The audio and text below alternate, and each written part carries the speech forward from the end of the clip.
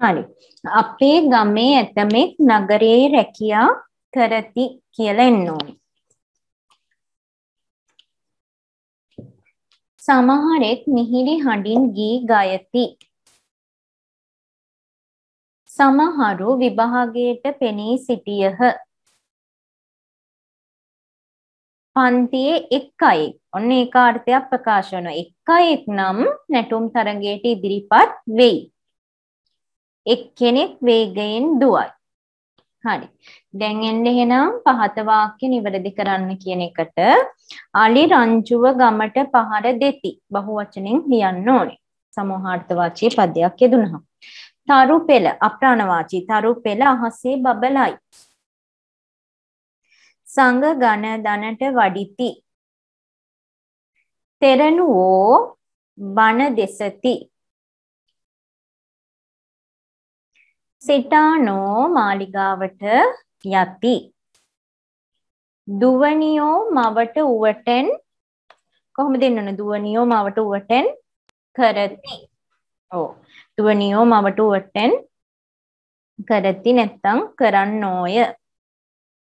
දුවනියෝ මවට උවටෙන් කරති කරන්නෝය. හරිනේ කරන්නෝය කියලා ලියාගන්න. ඊළඟට තෙරණියන් දෑ විහෙර වදින්න නීය කියලා තියෙන්නේ. එහෙනම් තෙරණියන් දෑ වෙහෙර වඳිති. තෙරණියන් දෑ වෙහෙර වඳිති නැත්තම් වඳින්නෝය. එහෙම නැත්තම් තෙරණියන් දෑ වෙහෙර වඳින දෑය. තෙරණියන් දෑ වෙහෙර වඳින දෑය. තෙරණියන් දෑ වෙහෙර වඳිති. තෙරණියන් දෑ වෙහෙර වඳින්නෝය. තෙරුන් වහන්සේ ගිලනුන්ට උවටැන් කරයි. තෙරුන් වහන්සේ ගිලනුන්ට උවටැන් කරති. බහුවචනෙන් තියන්න ඕනේ වහන්සේ කියලා තියෙනකොට. හරි. අඩුපාඩු ටික හදාගෙන අපේ අලුත් පාඩමේ නම ලියාගමු.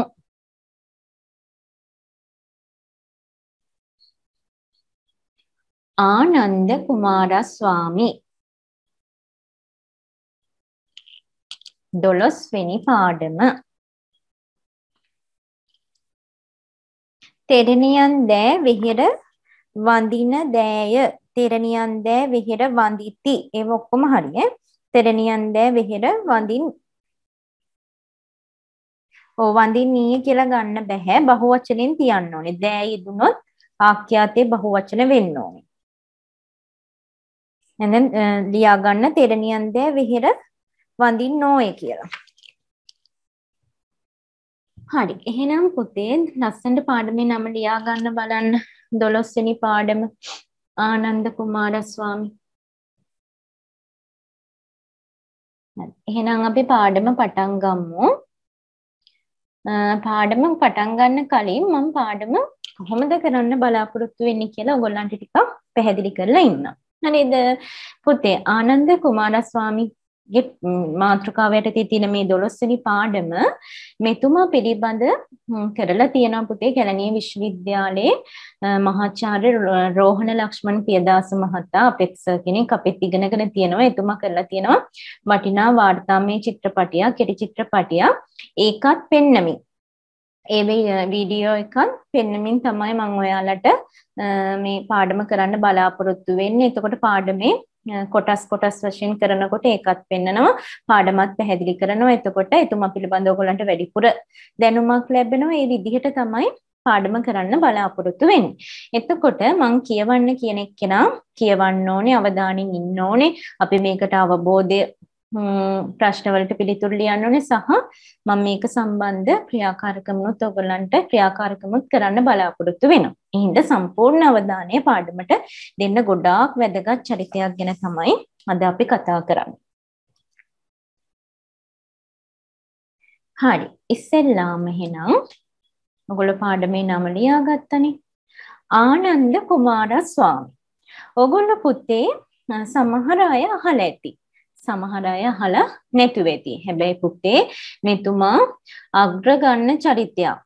විශාල රටට සේවාවක් කරපු ලෝකෙම ගෞරව ආදරයට පාත්‍ර වුණු වැදගත් චරිතයක් තමයි අපි කරන්නේ. එතකොට ආනන්ද කුමාරස්වාමී කියන පුතේ ලාංකිකයෙක්. 19 වන සියවසේ 15 වුණු ශ්‍රේෂ්ඨතම ආසියාතිකයා විදිහට සැලකෙනවා. ශ්‍රී ලංකාව ඉන්දියාව වගේ පෙරදිග රටවල පුතේ තිබ්බ පෙරදිග රටවල වගේම අපරදිග රටවලත් මෙතුම ගොඩාක් ප්‍රසිද්ධියට පත් වුණා. හරි. ඉස්සෙල්ලාම කියමු බලන්න මිනූෂ පුතා අපේ හැඳින්වීම හරි. එතකොට පුතේ 1877 අගෝස්තු මාස 22 වෙනිදා තමයි මේ ආනන්ද කුමාරස්වාමි මහතා උපත ලබන්නේ. මේ ආනන්ද කෙන්ටිෂ් කුමාරස්වාමි කියලා නෙතින්නේ මේ කෙන්ටිෂ් කියන මෙතන මේ නම ඔහුගේ මවගේ උපන් ගම වෙච්ච එංගලන්තයේ කෙන්ට් කියන ප්‍රාන්තය මේ තුලින් නියෝජනය වීම සිද්ධ වෙනවා. හරිද? එහෙනම් 19 වෙනි සියවසේ පහළ වෙච්ච ශ්‍රේෂ්ඨතම ආසියාතිකය විදිහට තමයි මෙතුමාව පිළිගන්නේ. එතකොට පුතේ ශ්‍රී ලංකාව ඉන්දියාව ඇතුළු මේ පෙරදිග රටවල අධීන චින්තනයේ කලා මේ ශික්ෂණේ ශ්‍රේෂ්ඨත්වයේ බටහිර ලෝකයාට තේරෙන වැටහෙන භාෂාවෙන් ඔවුන්ගේ අවධානය දිනා ගන්න මෙතුමා කටයුතු කරා. මොකද්ද පුතේ මේ අදීන චින්තනය කියන්නේ අදීනයි කියන කට බැගෑපත් වෙන්නේ. හරිද යටත් වෙන්නේ කියන එක බැගෑපත් වෙන්නේ යටත් වෙන්නේ නැහැ.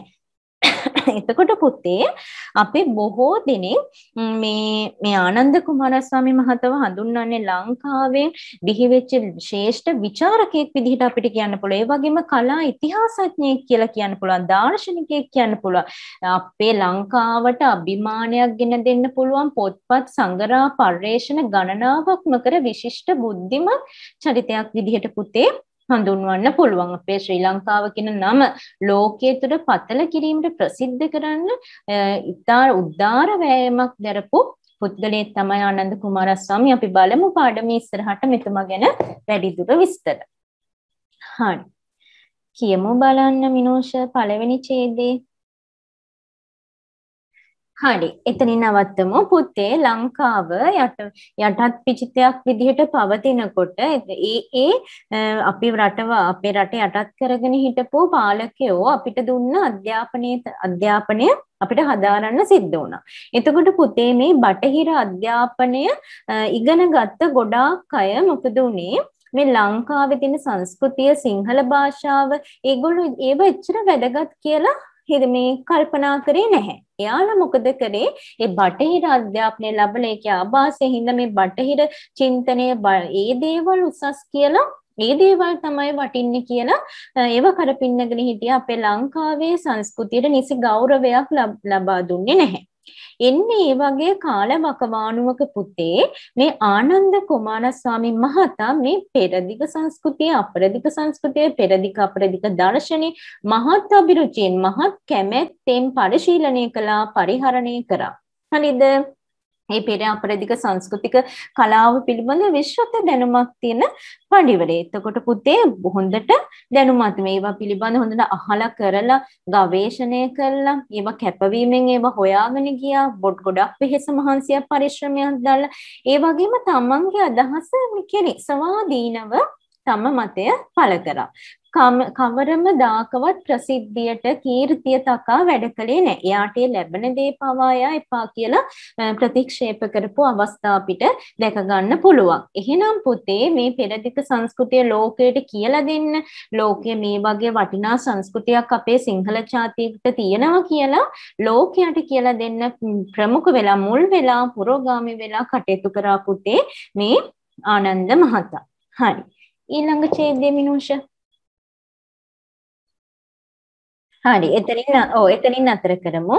එහෙනම් පුතේ හොඳට මතක තියාගන්න හැමෝම ආනන්ද කුමාරස්වාමි මහතා ඉපදුනේ 1877 අගෝස්තු මාසේ 22 වෙනිදා. හරිද? කොල්ලු පිටියේදී තමයි ඉපදුනේ. එතකොට මෙතුමගේ පියා ගැන සඳහන් කරනකොට ශ්‍රීමත් මුතු කුමාරස්වාමි තමයි පියා.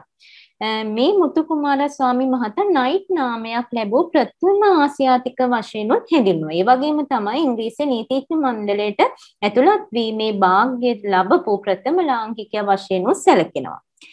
ඒ වගේම තමයි පුතේ මෙතනදී අපි සඳහන් කරන්න කාරණාවක් තියෙනවා මේ මුතු මේ ශ්‍රීමත් මුතුකුමාර ස්වාමි මහතා ශ්‍රී ලංකාවේ නිදහස් අරගලයට ප්‍රබල දායකත්වයක් දුන්නු ප්‍රබල භූමිකාවක් ඉෂ්ට සිද්ධ කරපු පොන්නම්බලම් සහෝදරයින් ගැන දන්න ඕනේ මෙන්න මේගොල්ලන්ගේ ළඟම ඥාති කෙනෙක් තමයි කුමාරස්වාමි මහතා. හරිද? ඒ වගේම නයිට් නාමයකුත් හම්බෙලා. නයිට් නාමයක් කියන්නේ ගෞරව නාමයක්. රජය විසින් හොඳින් වැඩ කරන පුද්ගලයන් වෙනුවෙන් ලබා දෙන ගෞරව නාමයක් තමයි නයිට් නාමයක්. බ්‍රිතා මේ කාලවකවානු වල නම් බ්‍රිතාන්‍යයෙන් දෙන්නේ නැති බ්‍රිතාන්‍යනුත් දෙනවා. තවමත් විවිධ රජයන් වලින් හොඳින් කටයුතු කරන හොඳට කටයුතු කරන අයට මේ ගෞරව නාම ප්‍රදානය කිරීමක් සිද්ධ වෙනවා. එතකොට පුතේ ඊළඟට කියනවා කුමාරස්වාමි පරපුර මේ මුතුන් මිත්තු ගැන නේද? ඒගොල්ලෝ උසස් පරපුරකට අයිතුණා. ප්‍රබල ජාතික මෙහෙවරට අපකැප වෙලා ක්‍රියා කරපු චරිත තමයි මෙයාලගේ මුතුන් මිත්තු. එතකොට මේගොල්ලෝ ප්‍රබල දෙමළ ප්‍රභූ පවුලක තමයි. ඉපදුනේ මේ මේ ආනන්ද කුමාරස්වාමි මහතා. ඒ කියන්නේ සිටු මේ පැලැන්තියක වගේ ගොඩාක් යට සැප සම්පත් තිබුණා කිසිම අගහිඟකම මුල් කාලේ තිබුණේ හොඳ ප්‍රභූ ධනවත් පවුල් පසුබිමක් තමයි මෙතුමට තිබුණේ. හරි මිනෝෂ. කියමු බලන්න ඊළඟට. හරි අපි දැන් ඒක පැහැදිලි කරගමු. පුතේ මෙතුමා එතකොට අධ්‍යාපනය ලබනකොට මේ බාහිර ක්‍රියාකාරකම් වල නිරත වෙලා තියෙනවා නේද? විදුහලේ දීප්තිමත් ශිෂ්‍යෙක් වුණා. උස පැනීම, එතකොට විද්‍යාලයේ පාපන්දු කණ්ඩායමේ ක්‍රීඩකයෙක් වුණා. සාහිත්‍ය සමගයේ හිටියා. සාහිත්‍ය සංගමයේ ඉඳලා තියෙනවා. විවාද කටයුතු වලට පවා සම්බන්ධ වෙලා තියෙනවා. පුතේ ආසියාවේ සිසුන් ඉගෙන ගන්න ගියාම මේ ආසියාතික සිසුන්ට යුරෝපේ කොන් කිරීමක් සිද්ධ වුණා ඒ කාලේ. හරිද නිසි ගෞරවයක් ලැබුණේ හැබැයි පුතේ මේ ආනන්ද කුමාරස්වාමි මහතට හිමුනේ නැහැ. ඇයි? එයා ගොඩක් ප්‍රියමනාප චරිතයක්. ඒ වගේම මේ ආනන්ද කුමාර ගොඩක් හැම දෙයකම දක්ෂයි. ඒ හින්දම විදුහලේ ශිෂ්‍ය නායක තනතුර පවා මෙතුමා ඔබවලා තියෙනවා. හරිද? එතකොට මූලික අධ්‍යාපනය ශ්‍රී ලංකාවේ ලබාගෙන අවුරුදු 12 වෙනකොට තමයි මේ මේ වයික්ලිෆ් විද්‍යාලයට ඇතුළත් වෙලා තියෙන්නේ. එතකොට පුතේ මේ තුලින් අපිට තවත් මෙතන වටිනා කරුණක් තියෙනවා නවීන විද්‍යා විෂයන් හදාරන්න මේ ගොඩක් කැමැත්තක් දක්වලා තියෙනවා කුමාරස්වාමී මේ මහතා. එතකොට වඩාත්ම සිද්ධාත් විෂය බවට පත් වෙලා තියෙන්නේ මොකද්ද මෙතුමගේ? වැඩිම ප්‍රියතම ආසම ඕ භූගර්භ විද්‍යාව ඊට මේ භූගර්භ විද්‍යාව මේ පිළිබඳව විද්‍යාලයේ සංග්‍රහවලට නේද ලිපි ලේඛන ඉදිරිපත් කරලා තියෙනවා භූගර්භ විද්‍යාව කියලා කියන පොළවේ අභ්‍යන්තර කොටස පිළිබඳ අධ්‍යයනය කරන විද්‍යාව. හරි. කියමු බලන්න මිනෝෂ. හරි එතනින් අතර කරමු. ඔව් එතනින් අතර කරමු පුතේ. එතකොට මේ පාසල් අධ්‍යාපනයෙන් පස්සේ ලන්ඩන් විශ්වවිද්‍යාලයට ඇතුළත් වෙලා 1900 දී පුතේ මේ භූගර්භ විද්‍යාව හා උද්භිද විද්‍යාව මේ ශාක පිළිබඳ විද්‍යාව පිළිබඳ ප්‍රථම ප්‍රාන්තියේ ගෞරව උපාධියක් හිමි කරගන්නවා. ඒතර විද්‍යාවේදී උපාධියක් ලබා ගන්නවා. පුතේ මෙතනදී කියන්න ඕන කාරණාවක් තියෙනවා. මේ භූගර්භ විද්‍යාවට එතුමාගෙන් සිද්ධ වෙච්ච දායකත්වය ගොඩාක් දෙනා දන්නේ නැහැ. ගොඩක් අය කතා කරනවා කලාව පැත්තෙන් එතුමාගෙන් සිදුණු මෙහෙවර, ඒ වගේම එතුමා ලියපු පොත්පත් හැබැයි පුතේ භූගර්භ විද්‍යාව සම්බන්ධ විශාල දායකත්වයක් මෙතුමා ඉටු කරලා තියෙනවා. ලංකාවේ ප්‍රථම ඛනිජ සම්පත් ලංකාවේ ප්‍රථම ඛනිජ සම්පත් ගවේෂණ කාර්යාංශයේ අධ්‍යක්ෂකවරයා බවට පත්වන්නේ මෙතුමා. හරිද? ලංකාවේ පළවෙනි ඛනිජ සම්පත් ගවේෂණ කාර්යාංශයේ අධ්‍යක්ෂකවරයා බවට පත් වෙනවා. ඒ වගේම මේ 1903 වර්ෂයේදී ලන්ඩන් විශ්වවිද්‍යාලයේ පරීක්ෂකවරයෙකු විදිහට පත් වෙලා කුමාරස්වාමි මහතා ඒ වර්ෂයේම ලංකාවට ඇවිල්ලා khනිජ විද්‍යා දෙපාර්තමේන්තුවේ අධ්‍යක්ෂකවරයා විදිහට වැඩබාර ගන්නවා. හරිද මේ දන්නවනේ khනිජ කියන්නේ මේ පොළවේ තිබෙන රසායනික මේ ඒ රසායනික තත්ත්වයේ ඒකාකාරීව බවක් පෙන්වන ද්‍රව්‍ය. හරිද? ඉතින් මේවා පිළිබඳ පරීක්ෂණ කරා හෙව්වා. ඒවා සම්බන්ධව තනතුරු පවා මෙතුමා දරලා තියෙනවා.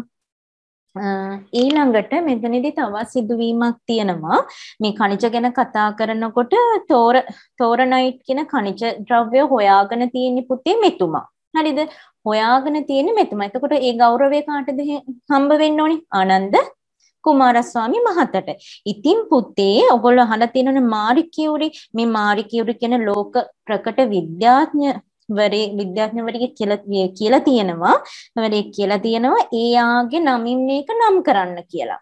හරිද යාට නිසි ගෞරවයක් ලබා දෙන්න ඕනේ හින්දා මේ කුමර නයිට් කියලා මේක නම් කරන්න කියලා තියෙන තියෙනවා මේක අහපෝ මේ මෙතුමා ආනන්ද මහත්තයා කියලා තියෙනවා එපා නිහතමානීව ඒක ප්‍රතික්ෂේප කළා තිනවා. එයාගේ නමින් ඒක මේ නම් කරන්න එපා කියලා. කලිනුත් කිව්වනේ එයා මේ ප්‍රසිද්ධිය බලාගෙන කීර්තිය බලාගෙන වැඩ කරේ නැහැ. එයාගෙන් ලැබ කරන්න ඕන දායකත්වය ඉෂ්ට සිද්ධ කරා. ඊට පස්සේ ඒක තොරිය නයිට් කියලා ප්‍රසිද්ධියටපත් වෙලා තියෙනවා.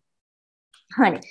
මෙන්න මේ කාල වකවානුව වෙනකොට සනුක පුතේ ලංකාවේ ජාතික විමුක්ති ව්‍යාපාරය ව්‍යාප්ත වෙලා තියෙන විමුක්තිය ලබාගෙන නිදහස ලබා ගන්න හැමෝම ඒක රාශි වෙලා කටයුතු කරා සිංහල දෙමළ මුස්ලිම් වගේ විවිධ ජාතීන් එකතු වෙලා බහුජන සංවිධානය පිහිටුවා ගත්තා. විමුක්තිය පතා නිදහස පවා කටයුතු කරමින් යන වකවානුවක් තමයි තිබ්බේ. හරිද?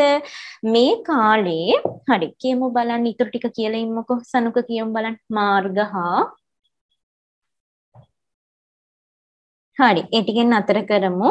පුතේ මේ කාලේ ප්‍රවාහන පහසුකම් තිබෙන යන්න එන්න හැමතැනටම ලෙහෙසියෙන් තැනකට ළඟා වෙන්න හැකියාවක් ගොඩාක් දුෂ්කරතා විඳින්මින් තමයි මෙතුමා පර්යේෂණ කටයුතු වල නිරතුනේ ඒවා අත්තරියනේ ගොන් බැඳි කරත්ත වලින් ගියා එහෙම නැත්නම් පයින් ගියා ලංකාවේ ගම් දනව් මේ හැම කඳු හෙල් වනාන්තර මේ හැම තැනම සැරිසරලා එතුමා අපේ රටේ අතීතයේ සංස්කෘතිය අපේ තිබ්බ ශ්‍රී විභූතිය අපේ නටබුන් මේවා පිළිබඳ හෙව්වා.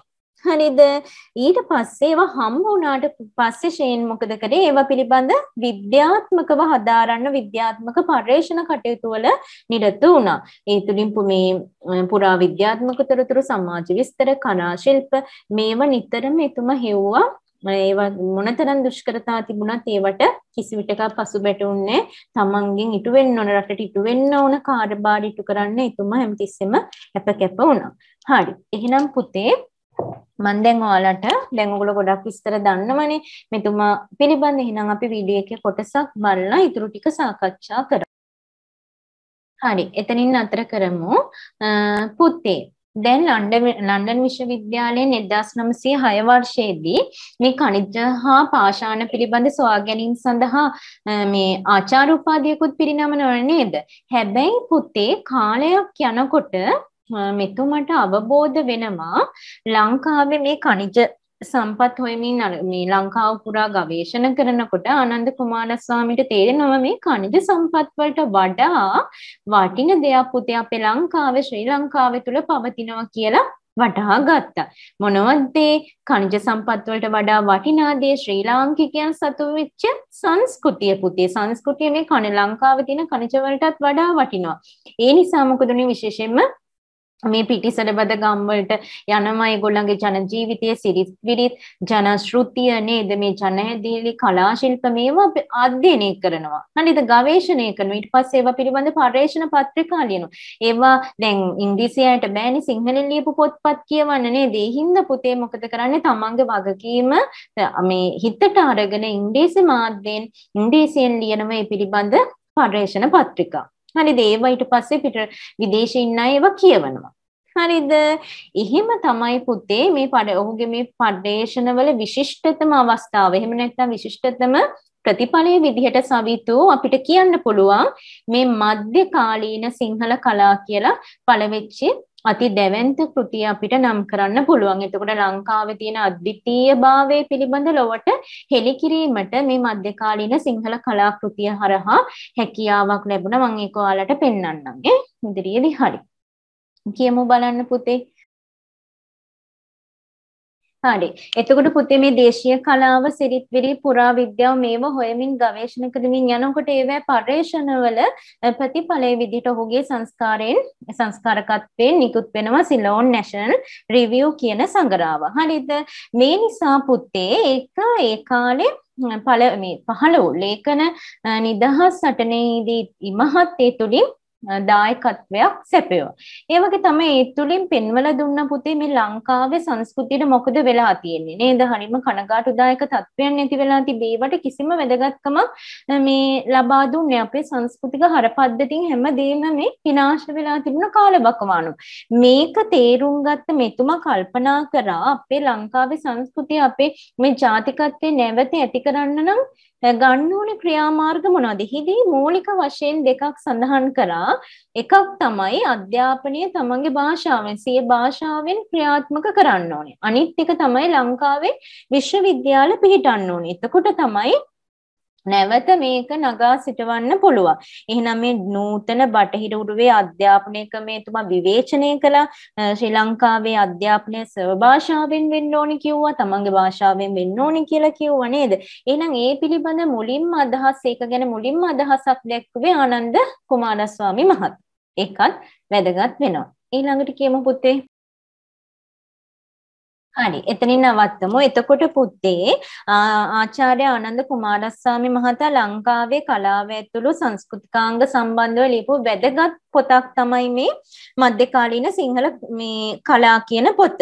හරිද? එතකොට මේ medieval Sinhalese art කියන පොත පුතේ අද්විතීය කෘතිය අති දැවැන්ත කෘතියක් අපේ තියෙන ප්‍රෞಢත්වය ශ්‍රේෂ්ඨත්වය ගම්බීර ගාම්භීරත්වය ඒ වගේම අපේ සංස්කෘතියේ තියෙන වටිනාකම ලෝකයට කියලා දුන්න මෙන්න මේ තරම් වටිනා සංස්කෘතියක් අපිට තියෙනවා කියන එක පැහැදිලි කිරීමට මේ කෘතිය හරහා අපිට හැකියාවක් ලැබුණා. ඔයාලට පුතේ මම අර කලින් දුන්න වීඩියෝ පෙන්නුපු වීඩියෝ එකේදී ඔයගොල්ලන්ට මෙන්න මේ වගේ කොටසක් ඇහුණා නේද? මේ ලියන ලද්දේ සිංහල ජනතාව මෙකල අවබෝධ කර ගැනීමට අකමැති කාල පරිච්ඡේදයක සිහිවටනයක් වශයෙන් ඔවුන් උදෙසාම නේද?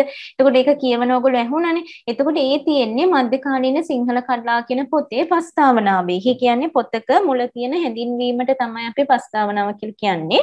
එහෙනම් මේ පොතේ මුල තියෙන හැඳින්වීමේ තිබ්බ කොටසක් තමයි එතනදී කියුවේ. හරිද? ඒ තුලින් ඔහු මේ එතුමගේ අරමුණ අපිට වටහා ගැනීමේ හැකියාවක් ලැබෙනවා. කියමු බලන්න මේ කොටස සනුක. මෙය ලියන ලද්දේ. හරි. බලන්න පුතේ මෙතන වචනයක් තියෙනවා පුනරුත්ථානය නේද? පුනරුත්ථානය කියන්නේ මොකද? නැවත දියුණු කිරීම. නැවත දියුණු කිරීම. එහෙම නැත්නම් කියන්න පුළුවන් අර දුර්වල වෙලා ගිය තැනක් නැවත දියුණු කර දියුණු තත්වයට පත් කිරීම නැවත දියුණු කිරීම කියලා අපිට කෙටියෙන් කියන්න පුළුවන්. නිවට නියාලු කියන එකෙන් අදහස් වෙන අර මෝඩයි හෙවිල්ලක් බැනිලක් නැතුව විමසන්නේ නැතුව දෙයක් කරනවා නේද? ශත වර්ෂයක් අවුරුදු 100ක්. එහෙනම් පුතේ මෙතනදී කියනවා මෙතුමා මේ පොතේ මුල තියෙන හැඳින්වීමේදී මධ්‍යකාලීන සිංහල කතා කලා කියන පොතේ හැඳින්වීමේදී කියනවා මේ වගේ තත්වයක් සිංහලයන්ට මෙවැනි තත්ත්වයක් ඇති. ලාංකිකයන්ට මෙවැනි තත්ත්වයක් ඇතිවීම පුදුමයට හේතුවක් නෙවෙයි නේද? පරිසිරිත් අනුකරණය කරන්නේ අපේ අපිට ඔබින අධ්‍යාපනයක් නෙවෙයි ලබා දෙන්නේ. විදේශිකයන් විසින් ලබා දුන්නු අධ්‍යාපනය ලබා දුන්නේ කාලයක් අපි යටත් වෙලා හිටියා නේද? මේ මේ හින්දා මේ වගේ තත්ත්වයක් ඇති වෙලා තියෙනවා. ඒ නිසා අතීතයට ගරහලා වර්තමානයේ මේ අහස උසට වර්ණනා කරමින් වර්තමාන තියෙන තත්ත්වය තමයි අගයන්නේ. අපේ අතීතයේ තිබ්බ දේවල් අගයන්නේ වට ගරහනවා. එහෙනම් එතකොට ඒ කාලේ සිංහල සංස්කෘතිය මේ පරිහානියට පත් වෙලා යන කාල පරිච්ඡේදයක් තමයි තිබිලා තියෙන්නේ. එහෙනම් මේ සිංහල ජනතා ජනතාවගේ ජාතික ජීවන ක්‍රමේ නියම නගා සිටීම නැවත දියුණු කිරීම නව ජීවයක් ලබා ගන්න පුළුවන් අතීතයේ දේවල් නැවත අපි භාවිත කිරීමෙන් අතීතයේ තියෙන වටිනාකම් වර්තමානයේ තුල ඒ අතීතයේ අපේ වටිනාකම් සම්බන්ධ කර ගැනීම තුලින් කියන එක මෙතුමා මේ කියලා දෙන්න උත්සාහ අරගෙන තියෙනවා. හරිද ඒක තමයි එතකොට මේ අතීතය වටහා ගැනීම තමයි මේ පොත ලිවීමේ අරමුණ පරමාර්ථය වෙලා තියෙන අතීතයේ අපේ මුතුන් මිත්තන්ගේ ශක්්‍යතා නේද හැකියා ඒව තුලින් තමයි නව ප්‍රබෝධය ලබා ගන්න. ඒව අමතක කිරීමෙන් අපේ මේ අනාගතයට ගමන් කරන්න බෑ. අතීතය අමතක කරලා වර්තමානයවත් අනාගතයවත් ගොඩනගා ගන්න බෑ. ඒවට වටිනාකමක් දෙන්න ඕනේ. ඒවා ගරහන්න හොඳ නෑ කියන එක මේ තුලින් පැහැදිලි වෙනවා. හරි. ඒවා ඒ කියන්නේ ඒවා නොසලකා හැල්ලා බනිමින් ඒවට නිසි ගෞරවයක් ලබා දෙන්නට කටයුතු කරන්න හොඳයි. හරිද? හරි.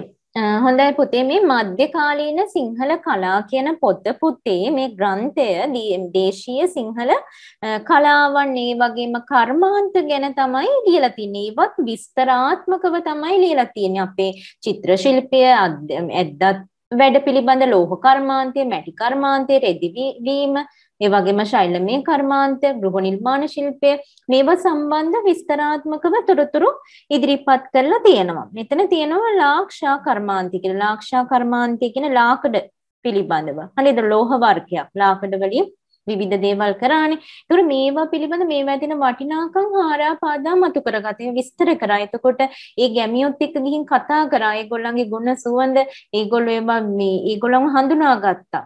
ඒවැ තියෙන මේ ශිල්පවල තියෙන වටිනාකම් මේවා මේවා දන්නේ නැති විදේශිකයන්ට කියලා දුන්නා මේ තරම් අගනම් මේ කර්මාන්ත අපේ ලාංකිකයන් තුල තියෙනවා කියලා. එතකොට පුතේ මේ පොත ලියලා තියෙන්නේ ඉංග්‍රීසියෙන්. හරිද? ඉංග්‍රීසියෙන් ලියුණ මේ පොත සිංහලයට පරිවර්තනය කරලා පළ කරලා ප්‍රකාශයට පත් කරලා තියෙන්නේ සංස්කෘතික සංස්කෘතික දෙපාර්තමේන්තුවෙන්.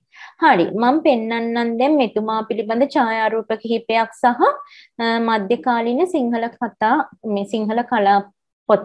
හරිද? හරි. ඒක බලලා අපි ඊළඟ කොටසට යමුකෝ එහෙනම්. ආනන්ද කුමාරස්වාමි මහතා වෙනුවෙන් මුද්දර පවා නිකුත් කරලා තියෙනවේ.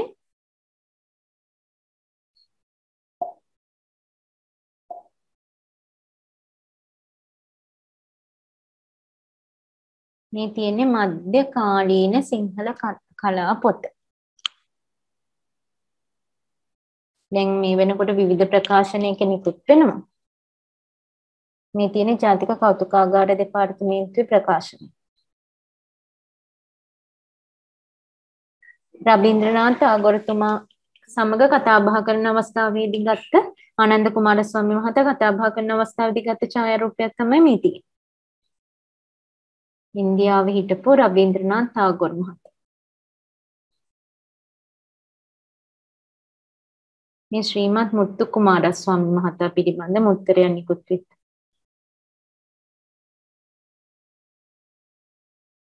හරි. කියමු බලන්න එතන ඉඳන් සරසි පාඩම නවත්තපු තැන ඊළඟට තියෙනවා සීගිරි චිත්‍ර පිළිබඳ එතුමා දරපු විස්තරය මොන වගේද කියලා. හරි. කියමු බලන්න සරසි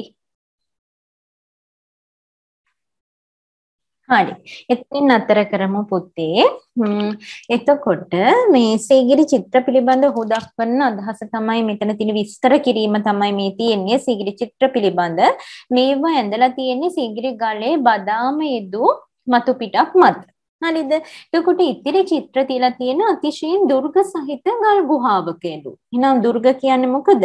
අතිශයින් ඉතාමත්ම ගමන් කරන්න අමාරු නේද? අමාරු ගල් ගුහාවල තමයි තියලා මේ මේවා තියෙන්නේ කියලා කියනවා. ඊළඟට කියනවා පුතේ මේ දහයියා ඒ වගේම පොල් කොහු මේවා එකට එකතු කරලා මැටි කිරිමැටි මේවා සම්මිශ්‍රණයෙන් මේ ගාල පිරි මේවා ගාල තමයි ඊළඟට මේ කහ පාට රතු පාට පච්ච කියන්නේ මෙතනදී කොළ පාට වගේ. හරිද? කහ රතු කොළ කියන මේ මූලික වර්ණ යොදාගෙන මේවා මේ ඇඳලා තියෙන්නේ. හරිද? මේවා භාවිතා කිරීමක් කරලා තියෙනවා. එතකොට පුතේ නීල වර්ණය නිල් පාට වර්ණය මෙතනදී මේ දකින්න නොලබෙනවා කියලා කියනවා. ඊළඟට අප්සරාවන් ගැන කියනවා. අප්සරාවන් කියන්නේ කවුද? සුරංගනාවන් විශේෂයක්. හරිද? සුරංගනාවන් විශේෂයක් තමයි අප්සරාවන් කියලා කියන්නේ. පිලිරූ පිලිරූ කියන්නේ මෙතනදී චිත්‍ර. හරිද?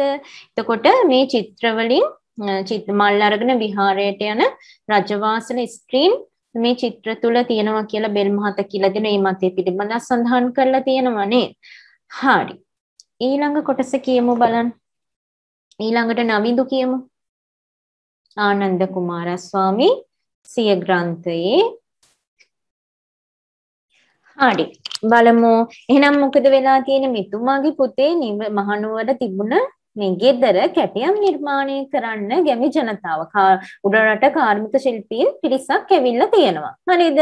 එතකොට මෙතන තියෙන විශේෂත්වය තමයි මේ මේ පිරිස පුතේ මුදලට ගැති වෙලා නැහැ. මුදල් බලාගෙන මුදල් පරමාර්ථයෙන්ම මුදල් ඉපීමේ පරමාර්ථයෙන් ඒගොල්ලෝ වෘත්තිය කළා නෑ. දවස් කුලිය දීලත් නෑ. වැඩ කරන්න ඕන නියමිත පැය ගන්නක් නෑ. නේද? ඒගොල්ලෝ තමන්ගේ උපරිම වෙහෙස මහන්සි වෙලා ඒ ක්‍රියාව ඒ ක්‍රියාවේ නිරත වෙලා තිනේ. ඒගොල්ලන්ට අවශ්‍ය වෙලා තියෙන ඒ දා වේල හරි හම්බ කරන් ගන්න. එහෙම නැත්නම් Tamanට තම පවුලට අවශ්‍ය ආහාර මිලදී ගන්න යම්කිසි පොඩි මුදලක් තිබුණා නම් ඇති. මුදල් ඉදිරි කිරීමේ බලාපොරොත්තුවකුත් ඒගොල්ලෝ ගාව තිබිලා නැහැ. මේ පිරිස ගාව තිබිලා නැහැ. එතකොට පුතේ මේ තුලින් පැහැදිලි වෙනවා මේ වාණිජකරණයට මේ යට නොවුණු මධ්‍යකාලීන කලා ශිල්පයාගේ ස්වභාවය මේ තුලින් හෙළිදරව් වීමක් වන ඒකයි. ඒක ගැන උඩරට කාර්මික ශිල්පී මෙන්න මේ වගේ කියන්න තමයි එතුමා මේ කොටසත් මේ මේක සඳහන් කරලා තියෙන්නේ. හරි. ඊළඟ ටික බලමු. ඊළඟට කියමු තිස්සොල්.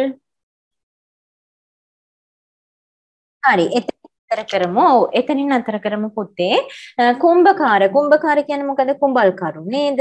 ජනශ්‍රුතිය කිව්වේ මොකක්ද? ජනශ්‍රුතිය කියන්නේ චාරිත්‍ර, විශ්වාස, සම්ප්‍රදාය, ජනප්‍රවාද මේවා තමයි ජනශ්‍රුතිය කියලා කියන්නේ. චාරිත්‍ර විශ්වාස සම්ප්‍රදාය ජනප්‍රවාද. ඊළඟ විචාරාක්ෂීට කියන්නේ විචාරශීලී ඇසින් නේද එහෙනම් පුතේ මහනුවර කාලේ තිබ්බ කලා ශිල්ප සම්ප්‍රදාය. ඒගොල්ලෝ ඒ සඳහා භාවිතා කරපු මේ තාක්ෂණික ක්‍රමවේදයන් වල විචාරාත්මකව විචාරාත්මක දැක්මක් ඇතුව මෙතුමා බැලුවා. හරිද ඒ වගේම තමයි මේ ඇතැම් ශිල්ප ශාස්ත්‍ර සම්බන්ධයෙන් ජනගීත මධ්‍යකාලීන සිංහල කලාකෘතිය මේ දක්වලා තියෙනවා. ඒ අතර කුම්භකාර ගීතය, කින්නර ගීතය වගේ ගීත තුලින් එතුමා මේ ජනශ්‍රුතියට මොනතරම් ලැබියාවක් දැක්වුවද කියන එකත් පැහැදිලි වෙනවා. හරි. ඊටු ටික සාකච්ඡා කරන්න කලින් අපි අර වීඩියෝ එකේ කොටසක් බලලා ඉන්න. ඒක ගොඩක් වැදගත් එකක් ඒක.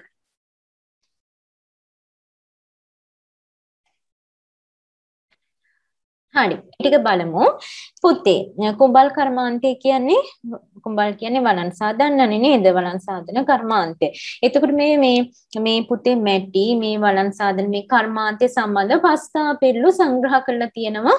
මෙතුමා. මේ පාරම්පරික ජනස්ෘති අධ්‍යයනය කරනකොට මෙතනදී පුතේ සඳහන් කරන්න ඕනේ මේ දේශීය විද්වතුන් විදිහට ඒ කාලේ වැජඹුණ ඒ කාලේ හිටපු ඉංග්‍රීසි උගත් අයගේ පයට පෑගෙන දූවිල්ලක් තරම්වත් වටින්නේ නැති වුණ ඒ පයට පෑගෙන දූවිල්ලක් වගේ බැහැර කරපු අපේ වටිනා ආප්තෝපදේශ පස්තා පිරුළු මේ වගේ දේවල් අපේ සංස්කෘතියේ තියෙන දේවල් මෙතුමා හොයාගෙන ගියා. ඒවා හාරාපාදා මතු කරලා දුන්නේ. ඒවා වටිනාකම් අපිට කියලා දුන්නා. යන යකා කොරහ විඳගෙන ගියා වගේ. ඒ කියන්නේ මොකද්ද? නැවත නොපි පැමිණෙන්නේ නැති කෙනෙක් නේද? නැවත පැමිණෙන්නේ නැති කෙනෙකු අලාභ හානි කරගෙන යාමක් තමයි ඒ තුලින් අදහස් වෙන්නේ. ඊළඟට තියෙනවා කුඹලා හමසක් තැලූ වළම් පොල්ල කුඹලා කුඹලා හමසක් තැලූ වළං පොල්ල ඇති මිනිහාට එකපාරයි කියලා. ඒ කියන්නේ මොකද කෙනෙක් පුතේ මහත් පරිශ්‍රමයක් වෙහෙසක් දරලා කරන දෙයක් කෙනෙකුට එක මොහොතකින් නැති කරන්න පුළුවන් නේද? පිරුණු කලේ දිය නොසැලේ. පිරුණු කලේ දිය නොසැලේ කියන්නේ මොකද? උගත් පුද්ගලයා නිහඬයි. නේද? නූගතා ഘോഷාකාරී හැමතිස්සෙම කියවනවා ഘോഷාවයි මේ උගත් කෙනා හරි නිහඬයි. හැබැයි ආ දැනුමින් සන්නද්දයි නේද? අඩු කලේ දිය සැලවේ. නූගතා ഘോഷාකාරී දන්නේති දේකුම් දන්නේති දේකුත් නෑ හැබැයි කටමැද කියවනවා හැමතිස්සෙම නේද? හරි. ඊළඟට ඇත්තා වැහැරුණත් කොරහෙ නාවන්නට බෑ. මේ කියන ඇත්තා වැහැරුණත් කොරහෙ නාවන්න බෑනේ. කවදාවත් අලියව කොරහකට නාවන්න පුළුවන්ද බෑ. වැහැරලා ගියත් බෑ. ඒකෙන් අදහස් වෙන්නේ මොකද්ද? ප්‍රබලයෙක් නේද ප්‍රබලයෙක් පුතේ දුබලයෙක් වුණත් කවදාවත් බැගෑපත් වෙන්නේ ප්‍රබලයෙක් දුබලයෙක් වුණත් බැගෑපත් නොවේ කියන එක තමයි එකෙන් අදහස් වෙන්නේ. හදිස්සියට කොරහෙත් අත දාන්න බෑ. නිතරම අපිට සමාජය අහන තියෙන මේ පිරුලක් නේද? හදිස්සියට කොරහෙත් අත දාගන්න බෑ. ඒකෙන් මොකද්ද? වැඩි ඉක්මන කලබලේ වැඩි වුණාට පස්සේ කිසිවක් කර කියා ගන්න බෑ. නේද? හදිස්සියට කිසිම දෙයක් කරන්න බෑ. හරි. එතන ඉඳන් කියමු ෂේන්. හරි. පුතේ මෙතුමාගේ මෙතුමා මේ පෙරදිග පිළිබඳ අධ්‍යයනය කරනකොට ඉදී ඉන්දියාව කියන රටත් ඉතාමත් වැදගත් වෙනවා ඉන්දියාව පිළිබඳ හැදෑරුව ඉන්දියාවේ කාලයක් වාසය කළා ඒ වගේම තමයි පාකිස්තානයේ නේපාලයේ තායිලන්තයේ වැනි රටවල තියෙන වැදගත්කම් කලා ශිල්ප සංස්කෘතිය ඒවා පිළිබඳ හැදෑරුවා ඉන්දිය හා ඉන්දු ඉන්දුනීසියානු කලා ඉතිහාසය කියලා ග්‍රන්ථයක් රචනා කරා. ඒ වගේම පුතේ වැදගත් වෙනවා දැන් මෙතුමා විවිධ භාෂාවන් ඉගෙන ගත්තන ඉංග්‍රීසි, ප්‍රංශ, ජර්මනු, ලතින්, ග්‍රීක, සංස්කෘත, පාලි, දෙමළ නේද? හින්දු මේ වගේ භාෂා ඉගෙන ගත්තා. හැබැයි මේ භාෂාවන් ඉගෙන ගත්තේ භාෂාවන් පිළිබඳ මහා ප්‍රඥයෙකු වෙන්න කියලා හිතලා නෙවෙයි. භාෂා විශාරදෙක් වෙන්න නෙවෙයි. ඒගොල්ලන්ගේ මේ ඒ රටවල තියෙන සංස්කෘතිය හදාරන්න නම් වඩාත් හොඳින් ඒගොල්ලෝ එක sannivedanaya කරන්න නම් සවිතු ඒ භාෂාව අපි දැනගෙන ඉන්න ඕනේ නේද පුතේ? අන්නේ නිසා තමයි මේ පෙර අපරදිග භාෂා හැදෑරුවේ පෙරදිග සංස්කෘතිය අපරදික සංස්කෘතිය වඩා හොඳින් අධ්‍යයනය කරලා ගවේෂණය කරලා සංසන්දනය කළා ඒකේ වටිනාකම් අපිට පෙන්වලා දෙන්න ඕනි නිසා. හරිද? ඊළඟට කියමු බලන්න. හරි එතනින් අතර කරමු පුතේ එතකොට මේ මේ මෙතුමා ලියලා තියෙන විවිධ විෂයන් සම්බන්ධ පොත්පත් ලියලා තියෙනවා විවිධ විෂයන් අධ්‍යයනය කළා තියෙනවා දැන් පුතේ ගොඩක් වෙලාවට යම්කිසි පුද්ගලයෙක් එක විශේෂ ක්ෂේත්‍රයක් ඉගෙනගෙන ඒ විෂය පිළිබඳ පරතරට ඉගෙන ගන්නවා. එහෙම නැත්නම් ඒක පිළිබඳ විශාල දැනුම් සම්භාරයක් ලබා ගන්නවා. හැබැයි පුතේ පෙරදිග ලෝකයේ තුල අපරදිග ලෝකයේ තුල ජාත්‍යන්තරයේ තුල මෙතුමා ගොඩාක් ගෞරවාදරයට පත් වෙන්නත් හේතුවක් වෙන්නේ එක විෂයක් නෙවෙයි. විවිධ විෂයන් සම්බන්ධව පොත් රචනා කළා තිමා ආධ්‍යාත්මික විද්‍යාව, භූගර්භ විද්‍යාව, වාස්තු විද්‍යාව, සංගීතය, කලාව ජනශ්‍රෘතිය නේද?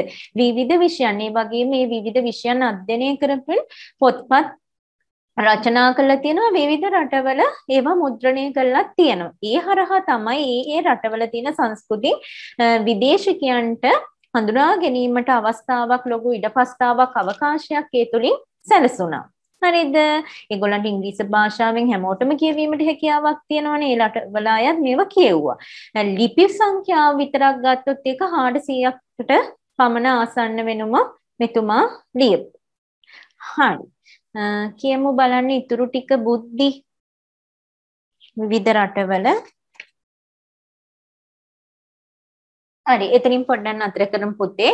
මෙතනදී සුවිශේෂී සිද්ධියක් වෙනවා පුතේ. පළවෙනි ලෝක සංග්‍රාමයේ ලෝක යුද්ධ කාලෙදී සංග්‍රාමයේ කාලෙදී මෙතුමාගේ වාසස්ථානය බවට පතලා එංගලන්තේ නේද එංගලන්තේ හැරදාලා යන්න සිද්ධ වෙනවා. ඒකට හේතුව මෙතුමා හමුදාවට බැඳෙන්න කැමැත්තක් දක්වන්නේ.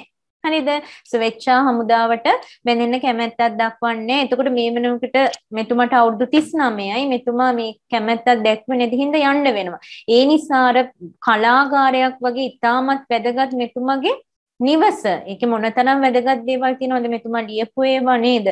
මේ දේවල් මේ කලාගාරයක් වගේ නිවස වටිනා නිවස ඇතුළේ සියලුම දේවල් රජයේ සතු වෙනවා. හරිද? ඊට පස්සේ එතන ඉඳන් එතුමගේ ජීවිත කාලය ගත කරන්නේ ඇමරිකාවේ. කියමු බලන්නේ කොටස බුද්ධි. හරි. පුතේ ඊට පස්සේ එයාගේ ජීවිත කාලය එතන ඉඳන් ඇමරිකාවනේ ගෙවන්නේ. එතකොට මේ උතුරු ඉන්දියාවේ සංචාරය කරනකොට එතුමා එකතු කරගත්තු රැස් කරගත්තු පුරාවස්තු ප්‍රමාණයක් තිබ්බ සිතුවම් තිබ්බ ඒවා ඉතාමත් ආරක්ෂාකාරීව තැන්පත් කරලා තියන්නේ ඇමරිකාවේ බෝස්ටන් නුවර ලලිත කලා කෞතුකාගාරයෙන් මෙතුමට ඉඩකඩක් හම්බ වෙනවා. ඊට පස්සේ 1917 ඉඳන් ඒකේ බාරකාරත්වයේද පෙරදිගාංශයේ බාරකාරත්වය මෙතුමට පැවරෙනවා. ඒකත් විශේෂ අවස්ථාවක්. මෙතුමා ගෞරවනීය චරිතයක් නේද? මේ වගේ ගෞරවයක් පවා ඒ කියන්නේ මේ වගේ වැදගත් නේද? ඒකේ බාරකාරත්වය ලැබීම පවා ලබා ගැනීමට මෙතුමා සමත්කමක් දක්වනවා. පුතේ මෙතුමා පිළිබඳ සඳහන් කරනකොට ඔයගොල්ලන්ට තවත් කියන්න කාරණාවක් තියෙනවා. මෙතුමා මේ තරම් උදාර සේවාවක් කරගෙන යනකොට ඉනුක පුතේ මෙතුමටත් විවේචන ආවා. හරිද ලංකාවේ මේ ප්‍රභූ පවුල්වල අධිරාජ්‍ය ගැටිව පරගැති ස්වභාවය ආනන්ද කුමාරස්වාමි මහතා දැඩි ලෙස විවේචනය කරා කිසිම බියක් තිබ්බේ නැහැ. තාන්න මාන්නවත් අනතුරු බලාගෙනවත් කීර්තිය බලාගෙනවත් වැඩ කරේ නැහැ. හරිද? එතකොට පුතේ බටහිර අධ්‍යාපනය ක්‍රමයේ පිළිබඳ විවේචනයක් කරා. මෙතුමා පුතේ මේ පිටිසර ගම් වලට ගිහිල්ලා මේ නෝගත් ජනතාව අතර තියෙන උසස් සංස්කෘතියක් තියෙන මේක තමයි වඩාත් ඉස්මතු කරේ. ඒ නිසාම පුතේ ලංකාවේ අධ්‍යාපනය ගැන කතා කරනකොට ලංකාවේ අධ්‍යාපනය සව භාෂාවෙන් මුල් භාෂාවෙන් ලබා දෙන්න ඕනි සිංහල භාෂාවෙන් දෙමළ භාෂාවෙන් ලබා දෙන්න ඕනි කියන මතය මුලින්ම ඉදිරිපත් කරෙත් එතුමයි. එහෙනම් තමයි ලංකාවට විශ්වවිද්‍යාලයක තියෙන අවශ්‍යතාවය පැහැදිලි කරලා දුන්න ඒවා ඇති කරන්න මෙතුමා කැප වෙලා ක්‍රියා කරා. ඒකත් වැදගත් වෙනවා. හරි. කියමු බලන්න එතනින් නම් සවිතු හරි ඒ ටික පැහැදිලි කරගෙන හරි. එහෙනම් පුතේ මේ තරම් නේද විශිෂ්ට සේවාත් කරපු සේවාවක් කරපු මෙතුමා 1947 සැප්තැම්බර් 19 වෙනිදා ඇමරිකා එක්සත් ජනපදයේ බෝස්ටන් නගරයේදී ජීවිතෙන් සමුගන්නවා නේද? එක මිනිසෙකුට පුතේ මුළු ජීවිත කාලෙ කරලා නිම කරන්න බැරි අවසන් කරන්න බැරි කරලා ඉවර කරගන්න බැරි තරම් දැවැන්ත වැඩ කොටසක් පුතේ මෙතුමා කරා එක අතිශයින්ම ප්‍රශංසනීය කාරණාවක් මෙතුමා අපේ රටට විතරක් නෙවෙයි විවිධ රටවලට ප්‍රයෝජනවත් වන ආකාරයේ විශාල කෘති සේවාවන් රැසක් කරපු අග්‍රගණ්‍ය චරිතයක් විදිහට අපිට කියන්න පුළුවන්. හරි. ඊළඟ ටික කියමු බලන්න. හරි. පුතේ මම ඔයාලට පෙන්නුවනේ නේද මෙතුමා වෙනුවෙන් නිකුත් කළ තියෙන මුද්දර. එතකොට මේ ආනන්ද කුමාරස්වාමී මහත්තගේ මෙහෙවර අගය කරන්න හින්දා ඉන්දියාව ශ්‍රී ලංකාව සමර මුද්දර නිකුත් කරලා තියෙනවා. කොළඹ ග්‍රීන් පාත්තිය ප්‍රධාන මාවතක් ආනන්ද කුමාරස්වාමී මාවත ලෙස නම් කරලා තියෙනවා. ඒ වගේම විදේශීය ගෞරව ආදරයට මොනතරම් පාත්‍ර වුණාද කියන එක මේක හොඳටම නිදසුණා. මේ අවසාන කරුණ මොකද්ද? ආචාර්ය ආනන්ද කුමාරස්වාමී තරම් විවිධ විෂයන් ගැන කෘතින් ප්‍රකාශයට පත් කරලා තියෙන විද්වතුන් ඉන්නවනම් ඉන්නේ ඉතාමත් ස්වල්ප දෙනා. නේද? එතකොට මෙතුමා එක විෂයන් නෙවෙයි විවිධ විෂයන් සම්බන්ධ පොත්පත් රචනා කළා. හරිද එනම් පුතේ මේ යුරෝපයේ බොහෝ රටවල ජනතාව ලංකාව ගැන මුලින්ම දැනගත්තනම් දැනගන්න ගොඩාක් ඉවහල් වුණා මෙතුමා මෙතුමා නිසා. එතකොට ආනන්ද කුමාරස්වාමී මහත්තයට පින් සිද්ධ වෙන්න තමයි මේ බටහිර වැසියෝ මේ ලංකාව ගැන මේ තරම් දැනගත්තේ. එහෙනම් එතුමාට ලංකා ලංකාව වැනි එතුමා මේ ශ්‍රී ලංකාව වැනි රටකින් කලාතුරකින් බිහි වෙන අග්‍රගණ්‍ය කෙනෙක් චරිතයක් කියලා කියන්න පුළුවන් නේද? ජාත්‍යන්තර මට්ටමේට ගිය විශිෂ්ටත්වයට පත්වෙච්ච චරිතයක්. එහෙනම් පුතේ එතුමාට හම්බ වෙන්න ඕන නිසි ඇගීම ගෞරවය අපේ ලංකාව තුලින් හම්බුණාද කියලා ගැටලුවක් තියෙනවා. සමහර දෙනා මෙතුමා ගැන දන්නේ නැහැ. සමහර නේද? සමහර දැන් අය ඉන්නවා ඇති දැන් මේ පාඩම කරනකම් ආනන්ද කුමාරස්වාමී මහතා පිළිබඳ දැනගෙන හිටපු නැති අයත් ඉන්න ඇති නේද? එතකොට ගැටලුවක් වෙලා තියෙනවා අපි මෙතුමට නිසි ගෞරවය ලබා දුන්නත් කියලා. එතකොට පුතේ මං කියවනේ කොළඹ ග්‍රීන් පාර්ටි ප්‍රධාන මාවතක් ආනන්ද කුමාරස්වාමී මාවත ලෙත නම් කරා කියලා නේද? හැබැයි පුතේ මෙතුමා වෙනුවෙන් මේක නම් කරාට ඒ ඒක ඒ මේ ඒක මම රජය කියන්න නැතුව කියන්න. අවාසනාවකට වගේ මේ ආනන්ද කුමාරස්වාමී මහතා නිසි ගෞරවය ලැබුණාද කියලා ප්‍රශ්නයක් තියෙනවා. නෙළුම් පොකුණ නිර්මාණය කරනකොට ඒ අසලින් තියෙන මේ ආනන්ද කුමාරස්වාමී නමින් තියෙන මාවත නෙළුම් පොකුණ මාවත කියලා නම් කරනවා. හරිද පස්සේ කාලෙක රජයේ වෙනස් වීම මත නැවත ඒක ආනන්ද කුමාරස්වාමී මාවත කියලා නම් කරනවා. ඉතින් ඒක පවා මෙච්චර ලෝක ප්‍රකට ලෝකයට මෙහෙවරක් කරපු ලංකාවේ නම ජාත්‍යන්තරයට ගෙන ගිය මෙතුමාගේ මේ නමින් තිබ්බ මාවත අයින් කරනවා. පස්සේ දැන් ඒක මේ නැවත යථා තත්ත්වයට නම යොදලා පත් කරලා තිනවා ආනන්ද කුමාර සම්මාත් මාවත කියලා. නමුත් මේ මාවතක් පමණක් ඉදි කිරීමට බානවද? අඩුම තරමේ නැවතේ මාවත හදනකොට එතුමාගේ පිළිරුවක් නේද? පිළිරුවක් වගේ එකක් හදලා මේ ශ්‍රේෂ්ඨ ලංකා මේ මේ ලෝකයක් වටින මේ චරිතයට ගෞරවයක් ලබා දුන්නා නම් වඩා හොඳයි මෙතුමා අගය කරන්න ඕනේ නේද? පාසල් මට්ටමින් අපි කතා කරන්න ඕනේ. මෙතුමා වෙනුවෙන් උස්ස මේ අනුස්මරණය තියෙන ස්මරණය කරන දවසට පවා මෙතුමා ගැන අපි සඳහන් කරන්න ඕනේ. මේ මෙතුමා කොච්ච මොනතරම් වැදගත්ද කියලා එක දිනයකට සීමා කරන්න නැතුව මෙතුමාගේ වටිනාකම අලුත් પરම්පරාවට තවත් කියලා දෙනව නම් හොඳයි කියලා හිතෙනවා. හරි. එහෙනම් පුතේ අපි දැන් අවබෝධයේ ප්‍රශ්නවලට පිළිතුරු ලියන්න ඕනේ. ඊට කලින් අපි අපේ වීඩියෝ එකේ පොඩි කොටසක් තියෙනවා තව. ඒකේ ඔක්කොම බලන්න බැරි වෙයි. කොටසක් බලලා අවබෝධයේ ප්‍රශ්නවලට පිළිතුරු ලියන්න යමු. පුතේ එහෙනම් අපි පළවෙනි ප්‍රශ්නේ ලියාගමු අවබෝධය යටතේ පාසල් ජීවිතයේදී ආනන්ද කුමාරස්වාමි ශිෂ්‍යයා ඉගෙනීමට අමතරව දස්කම් පෑ ශේත්‍ර මොනවාද කියලා අහනවා. පාඩමේ නම ලිව්වනේ. ලියාගමුකෝ ප්‍රශ්නේ. හරි. කියන්න බලන්න පුතේ පාසල් ජීවිතේදී කාටද පිළිතුර දන්න කෙනෙක් අත උස්සන්න බලන්න. හරි. ෂේන් කියමු බලන්න. ඕ ඒ වගේම භූගර්භ විද්‍යාව නේද? පිළිබඳ ලිපි ලිපි සංග්‍රහවලට ලිව්වා. එහෙනම් එන්න ඕනේ දීප්තිමා ශිෂ්‍යයෙකු වගේම දක්ෂ පාපන්දු හා උසපැනීමේ කීඩකයෙකු වුණා. ඒ වගේම සාහිත්‍ය සංගම්වල කටයුතු කළා. භූගර්භ විද්‍යාව සම්බන්ධ ලිපි සංග්‍රහවලට ලිව්වා. එහෙනම් ඒ ටික එකතු කරලා පිළිතුරු ලියමු බලන්න. මම මේ පිළිතුර තියෙන තැන ඔයාලට පෙන්වන්නම්. ඔයගොල්ලෝ ටික ලියන්න ඕන. ලිඛිත භාෂාවෙන් ලියන්න. විදුහලේ දීප්තිමා ශිෂ්‍යයෙකු ඔහු දක්ෂ ක්‍රීඩකයෙක්ද විය. උසපැනීමේ සව්වෙන් හා විද්‍යාලීය පාපන්දු කණ්ඩායමේ ක්‍රීඩකයෙකු ලෙසද දස්කම් දැක්වුණනේ නැත්නම් ක්‍රීඩකයෙකු වීම. විදුහලේ සාහිත්‍ය සංගමයේ දේශකයෙකු ලෙස කටයුතු කිරීම. ඊළඟට මොකද භූගර්භ විද්‍යාව සම්බන්ධයෙන් විද්‍යාලීය හා වෙනස් සංග්‍රහවලට ලිපි ලිවීම. වෙන් වෙන් වශයෙන් කරුණු ටික ලියමු. මෙන්න මේ ඡේදය තමයි තියෙන්නේ පිළිතුර. හරි හොඳයි පුතේ මේ කෝ බලන්න ඉස්කෝලවල කතෘකාරක කර්මකාරක කරලා ඉවරයි අත උස්සන්න බලන්න. කැමරා ටිකත් ඔන් කරගමුකෝ. දැනට කරලා ඉවරයි. ඔකිත් ඔකිත්ලා ඉවරයි නේ. හරි. දැනට තාම මේ අනිත් අයගේ කරලා නැහැ නේද? තාම කරපු කරපු අය විතරක් අත උස්සන්න. බුද්ධිගේ කරලා ඔකිත්ගේ කරලා නේ. හරි. හොඳයි පුතේ. එහෙනම් අපි දෙවෙනි ප්‍රශ්නේ ලියාගමු. දෙවෙනි ප්‍රශ්නෙන් අපෙන් අහනවා ආනන්ද කුමාරස්වාමී පාසල් අවදියේ සංග්‍රහවලට ලිපි සැපයූ විශේෂ ශාස්ත්‍රය කුමක්ද කියලා. ඒක ලේසි. මොකක්ද? ඔව්. ඔව් හරි පුතේ. භූගර්භ විද්‍යාවට අදාළව තමයි ලිපි සැපයුවේ. එහෙනම් ප්‍රශ්න ලියන්න භූගර්භ විද්‍යාවට මේ භූගර්භ විද්‍යා විෂය ශාස්ත්‍රය සම්බන්ධව තමයි ලිපි සපයලා තියෙන්නේ.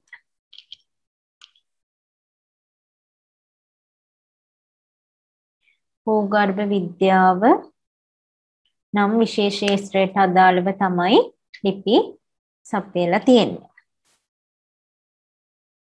ප්‍රශ්න ලියලා පිළිතුරු ලියන්න. හරි. ඔබාන ලියලා ඉවරයි අතුස්සන් බං. හරි. එහෙනම් පුතේ තුන්වෙනි ප්‍රශ්නේ ලියා ගන්නකෝ.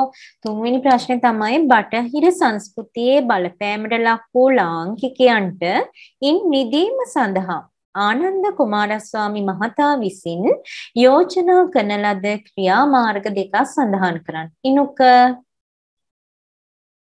අන්න හරි. මේ දෙක තමයි පිළිතුරු විදිහට එන්න ඕනේ. එහෙනම් ප්‍රශ්න ලියාගෙන අපි පිළිතුර විදිහට ලියමු. අධ්‍යාපනය සියබසින් ක්‍රියාත්මක කිරීමත් ලංකාවේ විශ්වවිද්‍යාලයක් පිහිටුවීමත්ය. මේ කහපාටින් තියෙන කොටසෙන් පිළිතුර සකස් කරගන්න පුළුවන්. අධ්‍යාපනය සියබසින්ම ක්‍රියාත්මක කරන්න ඕනි කියලා කිව්වා. ඒ වගේම තමයි ලංකාවේ විශ්වවිද්‍යාල පිහිටුවීම කරන්න ඕනි කිව්වා. ඒ තුලින් බටහිර සංස්කෘතියේ බාලපෑමට ලක් වූ ලාංකිකයන්ට මිදෙන්න පුළුවන්. මේ සඳහා ගත යුතු ක්‍රියාමාර්ග දෙක. හා ඊළඟ එකට යම්. ඊළඟට අහනවා පුතේ ලංකාවේ සංස්කෘතිය අලලා කුමාරස්වාමි මහතා ලියූ අගනා ග්‍රන්ථය කුමක්ද කියලා බුද්ධි කියමු බලන්න මට පිළිතුර හොයලා 201. ඕ අපි එක මේ ඉංග්‍රීසියනුත් ලියමු සිංහලෙනුත් ලියමු මධ්‍යකාලීන සිංහල කලා කියන මධ්‍යකාලීන සිංහල කලා කියන පොත එක තමයි ඒක අද්විතීය පොතක් නෙනේ ඒක තමයි අගනා ග්‍රන්ථය. හරි. මම පෙන්වන්නම් එහෙනම් ඔයගොල්ලෝ පිළිතුර ලියමු. හරි මේ කොළ පාටින් තියෙන මේ පොතේ නම ලියන්න.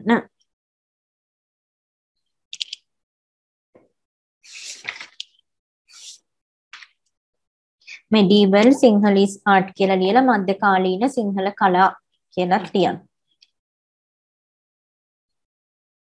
හරි. අපි දැන් ඊළඟ ප්‍රශ්නෙට එකපාරටම පිළිතුර ලියන්නේ නැහැ. හරිද අපි දැන් ඒක ටිකක් සාකච්ඡා කරනවා. ඔබේ අදහස නෙලියන්න තියෙන එක අපි ඒක ටිකක් ඔගොල්ලන්ගේ අදහස් මොනවද කියලා බලමු. ඉස්සෙල්ලා ප්‍රශ්නේ ලියා ගන්නකෝ. පස්වෙනි ප්‍රශ්නේ ලාංකිකේකෝ ආනන්ද කුමාරස්වාමී පෙරදිග මෙන්ම අපර දිග ලෝකයේද ගෞරවාදරයට ලක් වූ විද්වතෙකි. හරිද? මේ පිළිබඳ යන්න සනාත කරමින් මේක සනාත කරන්න මොකද්ද මේ ආනන්ද කුමාරස්වාමී මහතා මේ පෙරදිග වගේම අපරදිග ගෞරවාදරයට ලක් වුණා. හරිද ඒක සනාත කරමිනු සනාත කරමින් ඔයාලගේ අදහස් දක්වන්න ඕනේ. ඔබේ අදහස් දක්වන්න කියන. හරි. ප්‍රශ්නේ ලියාගෙන මේකට පිළිතුරු හොයාගෙන එහෙම හොයලා ඔයාලගේ අදහසොත් එක්ක මට ටිකක් කියන්න ටිකක් විස්තරාත්මකව ප්‍රශ්නේ ලියලා අත උස්සමු. හැමෝම පුළුවන් විදිහට අදහසක් දෙනවා නම් මම කැමතියි. Tamanට පුළු පුළුවන් කරුණක් හරි කමන්නේ. කරුණක් දෙකක් හරි. ප්‍රශ්නේ ලියන් ඉන්නකො පිළිතුරු හොයන්නකො.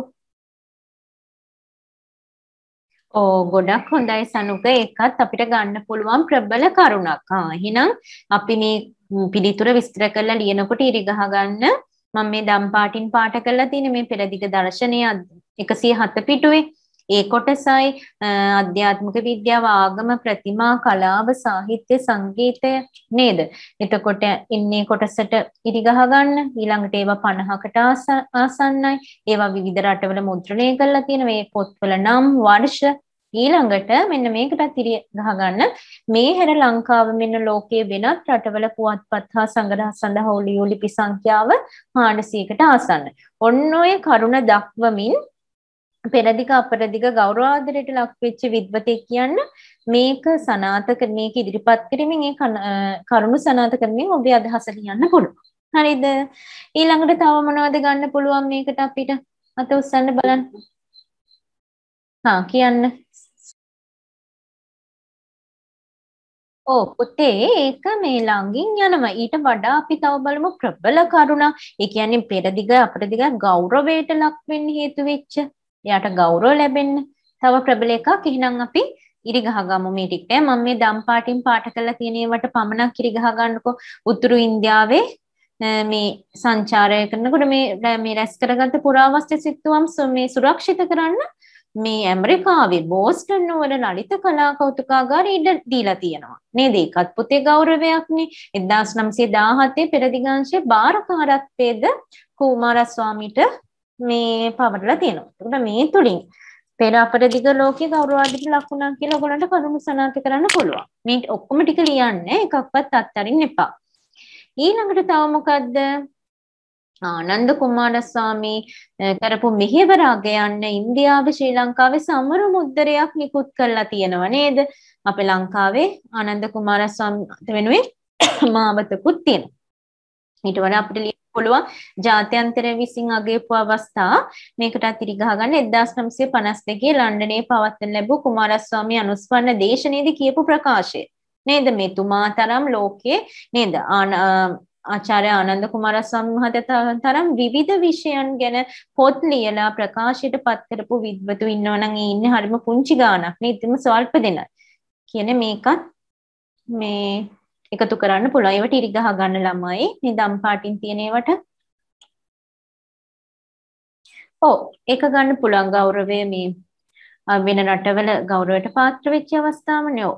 ඒක ගන්න පුළුවන්. ඒකත් මම දම් පාටින් පාට කරලා තිනවා. ඒකටත් ඉරි ගහ ගන්න ළමයි. ඔව්. මේ මේ ටික ඉරි ගහ ගන්නකො. ලන්ඩන් විශ්වවිද්‍යාලය විසින් 1906 වර්ෂයේ කියන තැන ඉඳන් ප්‍රදානය කිරීමෙනි කියන තැන දක්වා. ඔව්. හරි. දැන් කියන්න බලන්න තව අවස්ථාවක් කාටද කියන්න පුළුවන්.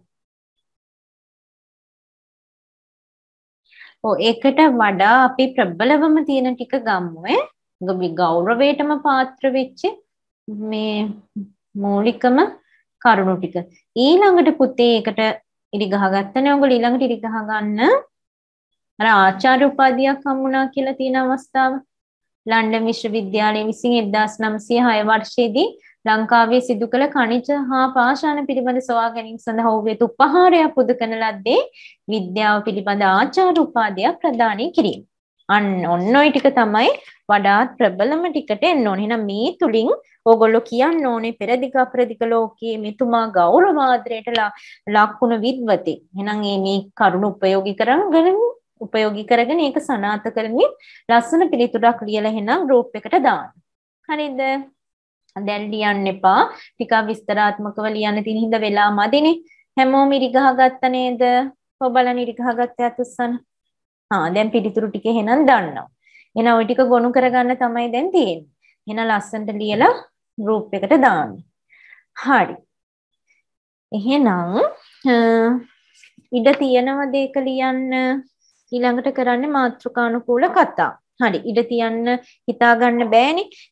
එහෙනම් පුතේ ඒක ලියලා ඉවර වෙලා පස්වෙනි ප්‍රශ්නෙට පිළිතුරු ලියලා ඉවර වෙලා මාතෘකානුකූල කතා කියලා ලියලා 110 පිටුවේ තියෙනව නේද? මේ රෝස පාට කොටසේ තියෙන ඒ ටිකත් පිටපත් කරගෙන එන්න ඕනේ. මෙන්න මේ ටික. පස්වෙනි ප්‍රශ්නෙට පිළිතුරු ලියනවා මාතෘකානුකූල කතා කියලා ලිව්වා. මේ ටික පිටපත් කරගෙන ආවා. හරිද? හරි. දැන් ඔව්. හරි. දැන් එහෙනම් අපි මාතෘකානුකූල කතා තමයි කරන්න යන්නේ.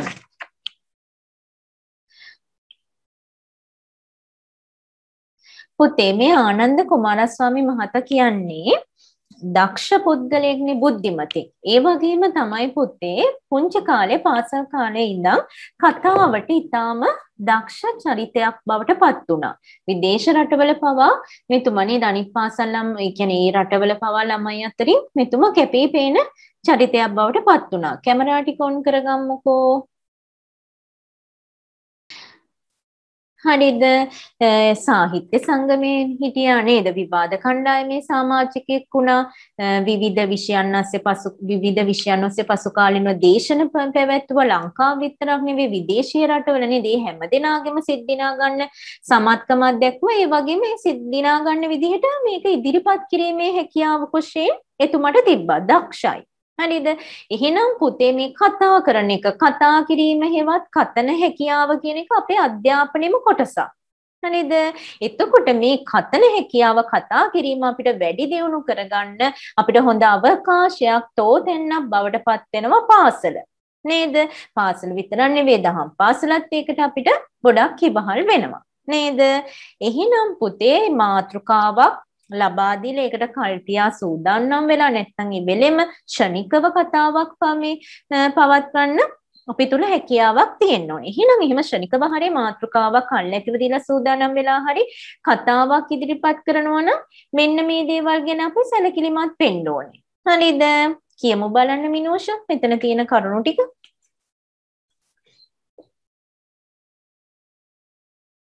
හරි හොඳයි පුතේ මේක ගැන අවධානය යොමු කරන්න. එහෙනම් අපි මේ මාතෘකාවට අදාළව කතාව ඉදිරිපත් කරනකොට පුතේ හැමතිස්සෙම වග බලා ගන්න ඕනේ මම මේ කරුණු කියන්නේ මාතෘකාවට ගැලපෙන්නද මාතෘකාවට අදාළවද මම මාතෘකාවෙන් පිට කතා කරනවද එහෙම කරන්න බෑ. දුන්නේ සාරධර්ම ගැන නම් සාරධර්ම සම්බන්ධව තමයි කතා කරන්න ඕනේ. ලෝක සාමය ගැන ලෝක සාමය ගැන.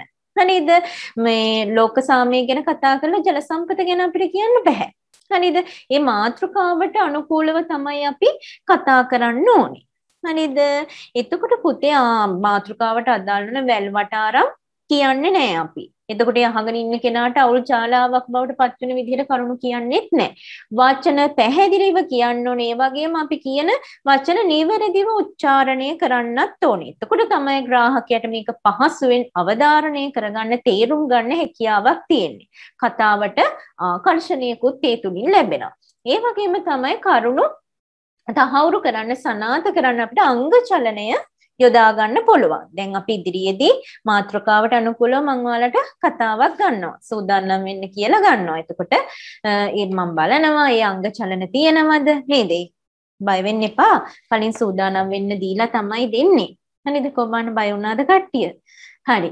ඒ මාතෘකාවක් දීලා පොඩි වෙලාවක් කරන්න ඕනේ කෙනෙකුට අමතක වෙනව නම් මේ කොලේක ලියාගෙන එන්න. හරිද කොලේක ලියාගෙන ඇවිල්ලා සූදානම් වෙලා හැබැයි කොලේ මත මේ අපෙන්න එපා පොඩ්ඩක් අමතක වෙනව නම් කොලේ බලන්න. අමතකම වුණොත් තින් විතරක් හරිද බය වෙලා අමතක වුණොත්ම හිතනවා කොලේ පොඩ්ඩක් මොකද්ද පුතේ ඔව් අද දැන් මං අද කරන්න නම් හිටියේ ආනන්ද කුමාරස්වාමි පිළිබඳ ඔයගලන්ට වෙලාවක් දීලා ලෑස්තිලා කරන්න. නමුත් පුතේ අද වෙලා නැහැ ඒක කරන්න. ඒ නිසා මං ඕගොල්ලන්ට මේ පාඩම අවසානයේ මාතෘකා මේ කිහිපයක්ම දෙනවා. හරිද? පහක් හයක් දීලා ඕගොල්ලන්ට කැමති ලේසි එකකට ලෑස්ති වෙන්න ලෑස්ති වෙලා ඉන්න කියලා ඊට ඊට පස්සේ සතිය ආයි ගන්නවා. හරිද? දැන් වෙලා නැති හින්දා මං මොකද්ද ඔව් මම ඒක කියන්න මාතෘකා ලබා දෙන දවසේ වැඩි වෙලා ඔයගොල්ලන් පුළුවන් වෙනවා. මේ විනාඩි 5ක් පුළුවන් නම් විනාඩි 5ක් කරන්න නැත්නම් විනාඩි 3ක් හරි 4ක් හරි. හරිද? එහෙම පුළුවන් ප්‍රමාණය කරන්න. කතාව හොඳට මුල මැද අග ලස්සනට ඒක ගොනු කරන් එන්න කවියක් පුළුවන් නිසදැසක් දාන්න පුළුවන් නිර්වචනයක් ඉදිරිපත් කරන්න පුළුවන් අංග චලනය භාවිතා කරන කෙනෙක්ට පුළුවන් නම් කැමරා එක තියලා හිටගෙන කරන්න ඒත් නිදහස තියෙනවා හිටගෙන කරන්න පුළුවන් ඉඳගෙන කරනවා නම් ඉඳගෙන කරන්න හැබැයි නිදාගෙන නම් කරන්න එපා. නිදාගෙන නැතුව අනිත් හැමදේ විදිහකට කරන්න. හරිද? හරි. එහෙනම් අපි පාඩම ඉතුරු ටිකට යමු. අංග චලනය තියෙන්න ඕනේ. හරිද? කරුණු තහවුරු කරන සුදුසු පරිදි. එහෙම නැතුව අතපය හිතන හිතන විදිහට එහෙම හිවිසි කරන්නේ කියන කරුණ සනාත වෙන පරිදි අංග චලනය යොදා. ඒ තුලින් අර අහගෙන ඉන්න කෙනාට ඉදිරිපත් කරනදී හොඳින් තේරුම් යන්න ඒක අංග චලනයේ හේතුවක් වෙනවා. ඒ වගේම අර බෝරින් ගතිය නැති කරලා කතාවේ ආකර්ශනීය බව රඳවා පවත්වා ගන්නත් හේතු වෙනවා. හැබැයි එකම කරුණ නැවත නැවත ඉදිරිපත් කරන්න එපා. නේ කරුණු අමතක වුණාම එහෙම ළමයි ගගා එකම දේ කියනවා. එහෙම කරන්න බැහැ. හරිද? නව්‍ය කණුව. එහෙම අමතකයි නම් ටක් ගාලා එහෙනම් කතාව අවසන් කරන්න. එතන සභාවට විහිළුවක් වෙන්නේ නැතුව නේද? තමන්ගේ පෞරුෂත්වය අපහසුතාවයට පත් කරගන්න නැතුව මතක නැත්තම් මෙතනින් ඉදිරියට කරන් යන්න බැයි නම් කරපු ටික මුල මැද අග කියලා අවසානයේ නේද ස්තුති කරලා එක අවසන් කරන්න. හරිද? ඊළඟට තමයි මේ කතාව සන්දර්භයේ අන්තර්ගතයේ වැදගත් දේවල් තියෙන්න ඕනේ. ඒක සිත් මේ සිත් ගන්නවා සුළු වෙන්න ඕනේ. ඒ තුලින් වටිනා අන්තර්ගතයක් ඒකේ තියෙන්න ඕනේ. ඒ වගේම හයි දැන් සමහරු ඉන්නෝනේ විවාද තරඟවලදී කතික තරඟවලදී සමහර අය හිතනවා මේ ආවේගාත්මකව කතා කරාම තමයි හොඳටම ලකුණු හම්බෙන්නේ දේශසාග මහා හයියෙන් නේද? සීට් උඩ යන්න කතා කරොත් එහෙම තමයි මේ පෞරුෂත්වය එහෙම වෙන්නේ කියලා. එහෙම නෑ දැන් ඔය දහම් පාසල් තරඟවල එහෙම විවාද තරඟ තියෙනකොට එහෙම මහා හියෙන් දේශ සහගතව ආවේගාත්මකව කතා කරන අයට ලකුණු කපනවා. හරිද? හිමින් හරි කමන්නේ පැහැදිලිව සංයමයෙන් ඉදිරිපත් කරන්න ඕන දේවල් තර්කානුකූලව ඉදිරිපත් කරපු පෙළ ජයග්‍රහණය කරනවා. එහෙම නැතුව අතපය විසික් කරමින් ඉන්න ප්‍රතිවාදියත් එක්ක හරි දේශ සහගතව තොරතුරු ඉදිරිපත් කරන්නේ විවාදික නම්. හරිද? එහෙම නැත්නම් මාතෘකාවකට අනුකූලව කරනවා නම් කරන මාතෘකාව ගැන තමන්ම තරහ හිතාගෙන දේශසහගතව දැන් දේශපාලනය ගැන කියන්න ගියා නේද? ඒ එහෙම කියමේ ගැන කේන්තියක් අරගෙන කියන්නේ. එතකොට අප්‍රසන්නතාවයක් තමයි ඇති වෙන්නේ අහගෙන ඉන්නේ. එහෙනම් ග්‍රාහකයාට අපි දෙන්න ඕනේ ඒ දෙන දේ සංයමයෙන් විනීතකමකින්. එතකොට ඒ ඉදිරිපත් කරන කෙනාගේ පෞරුෂත්වයේ තුලින් මේ ග්‍රාහකයට තේරුම් යනවා. ඒ වගේම කතාව වඩාත් හොඳින් තේරුම් ගන්නත් ධාරණය කරගන්නත් හේතු වෙනවා. හරි. ඊළඟට තමයි નિયમિત කාලයට සීමා කරන්න. નિયમિત කාලයට ඉවර කරන්න ඕනේ. ඊට එහා කියවගෙන කියවගෙන යන්නේ. සමහර අය ඉන්නවා මයික් එකක් හම්බුනහම නතර කරන්නේ නේද? කියවනවා කියවනවා කියන එහෙම බෑ. નિયમિત කාලයට අවසන් කරන්න ඕනේ. හරිද? එහෙනම් මයික් එකක් හම් වෙනකම් බලාගෙන හිටියා වගේ කියවගෙන කියවගෙන යන්නේ. එහෙම නියමිත කාලයට අවසන් කාලය ගැන ඉතාමත්ම සැලකිලිමත් වෙන්න ඕනේ. කාල කළමනාකරණයකින් අවබෝධයකින් පෙර සූදානකින් හරි එක ඉදිරිපත් කරන්න ඕනේ. එහෙනම් පුතේ ওই දේවල් ගැන සැලකිලිමත් වෙන්න ඕනේ. එහෙනම් මාතෘකාවට අනුකූලව කතා කියන කොටසත් ඉවරයි. මම අද අකුර පේපර් එකේ පළවෙනි පත්‍රය කරන්න ඉන්නේ. ඒක කරලා ඉවර වෙලා ක්ලාස් එක අවසන් කරමු. තව ක්ලාස් එකක් හරි තියෙන කෙනෙක් ඉන්නව නම් එහෙම ගියාට ගැටලුවක් නැහැ. හරිද? අද 9 පහ වෙලා තමයි චුට්ටක් ඉවර කරන්නේ. වතුර බොනවා නම් වතුර ටිකකුත් බීලා එන්න. තව ටිකකින් තමයි ක්ලාස් එක ඉවර කරන්නේ. තව ක්ලාස් එකක් තියෙන කෙනෙකුට ඕන යන්න පුළුවන්. හරි. එහෙනම් පුතේ මම ඔයගොල්ලන්ට මේ කොබන අකුරු පේපර්ස් නැති අය තුස්සන් පළවෙනි පත්‍රයක් කරන්න ඉන්නේ. හා නැති අයට මම මේ ස්ක්‍රීන් එකේ පෙන්වන්නම්. අපි පස්සේ දැන් මේ රටේ යන්න බෑනේ. යන්න පුළුවන් වුණ කාලෙක අකුර පේපර් එක ගම්මු. දැනටම ස්ක්‍රීන් එකේ පෙන්වන්න එතකන් ඔයගොල්ලෝ 110 පිටුවේ තියෙනවනේ. මාතෘකාවකට අනුව කතා කරනකොට සැලකිලිමත් වෙන්න ඕන කරුණු. ඒකෙන් හතරක් හරි පාඩම් දෙමු. හතරක් පාඩම් දෙමු හරි. එහෙනම් දැන් අකුර පේපර්ස් තියන අය ගන්න බලන්න. අංක 6 පේපර් එකේ පළවෙනි පත්‍රය අරගෙන කරන්න. නැති අය අංක 6 කියලා දාන්න 6 කියලා දාලා පළවෙනි පත්‍රය කියලා දාන්න දාලා අංක දාලා කරන්න නිවැරදි අංකයේ පමණක් ලියන්න හරි. ලියාගමුකෝ අංක 6 අකුර පේපර් එක පළවෙනි පත්‍රය ඒ යටතේ අංක 1. එකට ගැලපෙන්නේ පළවෙනි පිළිතුරද දෙවෙනි පිළිතුරද තුනද හතරද දාන්න.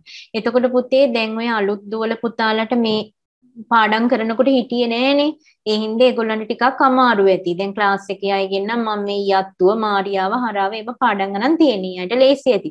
ඒ හින්දා අමාරුයි කියලා කලබල වෙන්න එපා. දන්න ටික කරමු. වැරදුනාට කමන්නේ අපි නිවැරදි පිළිතුරු ලියාගමු.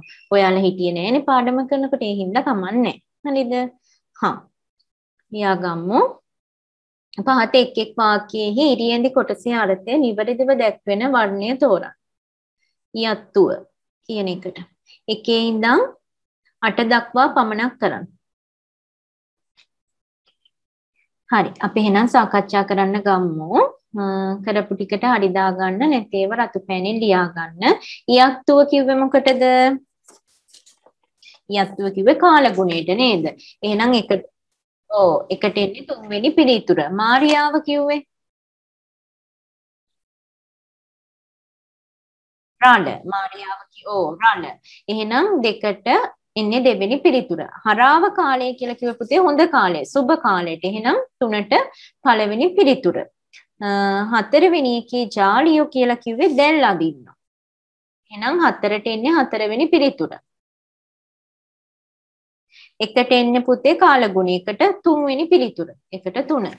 ඊළඟට කෝඩේ කියලා කිව්වේ වර්ෂාවට ඕ පහට දෙවෙනි පිළිතුර.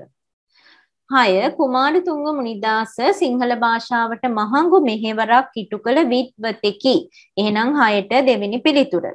දෙස බස රැස උදෙසා කැපවී කටයුතු කිරීම පිළිබඳ හැඟීම ඔහු තුළ රෝපණී වූයේ සිය පියාගේ බලපෑමිනි හතට එක. පැරණි සිංහල පොතපත සංස්කරණය කරමින් ඒවාට විවරණ සැපයීම කුමාරතුංගයන්ගේ සාහිත්‍ය සේවයෙහි ප්‍රබල අංගයකි. එහෙනම් අටට එන්නේ තුන්වෙනි පිළිතුර. හරි. ඊළඟට 8 ඉඳන් නෑ 9 ඉඳන් කරන්න 9 ඉඳන් 23 දක්වා. 9යි 10යි ප්‍රශ්න දෙක විතරක් බලමු. කුමාරතුංග පඬිවරයා හිස්තැන කවි ශක්තියක් ඇත්තෙක්ද විය. කොහොමද දෙන්නෝනේ අසිරිමත් නේද? අසිරිමත් කවි ශක්තියක් ඇත්තෙක්ද විය. කුමාරතුංගයන් සුබස සංගරාව ප්‍රකාශයට පත් කරේ හෙළබසේ සිවියත්වය සුරකීම උදෙසා නේද අපි ඒකම ආරක්ෂා කර ගැනීම සඳහා. එහෙනම් 9ට එන්නේ දෙවෙනි පිළිතුර 10ට එන්නේ හතරවෙනි පිළිතුර. දැන් එහෙනම් පුතේ 11 ඉඳන් 20 දක්වා පමණක් කරන්න ඒ ටික ඉස්සෙල්ලාම බලන්න. 11 ඉඳන් 20 දක්වා පමණ. හරි අපි බලමු එහෙනම් ඔව් සනුක මට පිළිතුරු දෙමු. 11 ඉඳන් 20 දක්වා. යහපත්. ඔය ඕ යහපත් සිසුහු දෙගුරුන්ට ගරු කරති. 12